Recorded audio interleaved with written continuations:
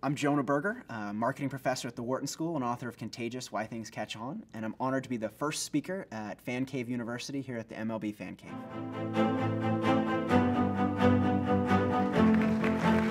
Today I'm going to give you a very brief tour through some of the ideas uh, through my recent New York Times bestseller, Contagious Why Things Catch On. Word of mouth is over 10 times as effective as traditional advertising. It's more trusted and it's more targeted, but to make it work, we gotta understand why. I've spent the last 10 years studying word of mouth and social influence, so why things become popular and why they become unpopular. So I'm gonna talk about today is that science, understanding why people talk and share, and how we can use that to understand why things become popular.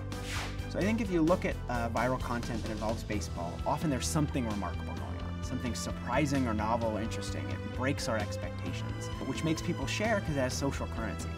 What people talk about and share impacts how other people see them. So we talk about things that make us cool, look cool and smart and in the know. So Matt Kemp, I think, from the, the, Dodgers had a great video where he gave a fan his jersey and his glove and also his shoes. But I think people were so surprised to see that. It was emotionally touching, but also it was remarkable in an unexpected way that they that they shared it with others because it evoked that high arousal emotion.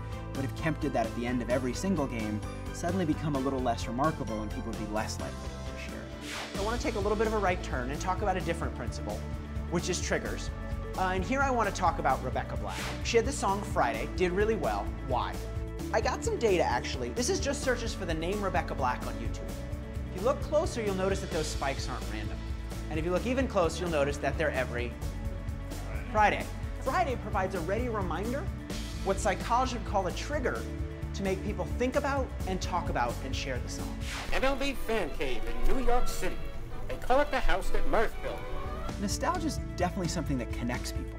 I'm an old Baltimore Orioles fan, right? Connecting over the trades they've made or the players I used to love uh, growing up as a kid helps connect with that experience, but also with other people. Orange hooded sweatshirt. Dip, dip, dip.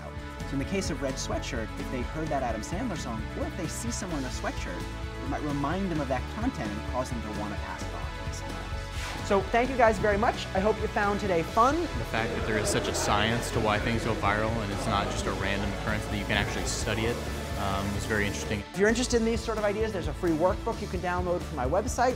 You can follow me on Twitter. Professor Berger was really, really good. He, he brought up some very, very interesting marketing principles. Had a great time at the MLB Fan Cave University. Looking forward to coming back for more events.